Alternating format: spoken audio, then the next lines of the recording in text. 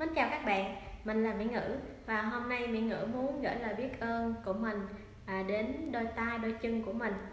À, bởi vì ừ, nhờ có đôi tay đôi chân này mà mình có thể làm được nhiều việc à, cầm nắm được à, mọi à, mọi thứ à, và đôi chân của mình à, giúp mình đi ở khắp mọi nơi luôn cả nhà.